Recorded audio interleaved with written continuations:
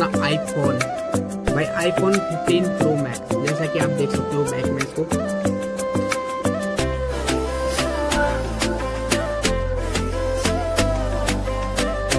और ये इसका फ़ोटो का भाई साहब, आप देख सकते हो, अभी वन पे चला तो ये इसका वाइड एंगल आ जाता है यहाँ से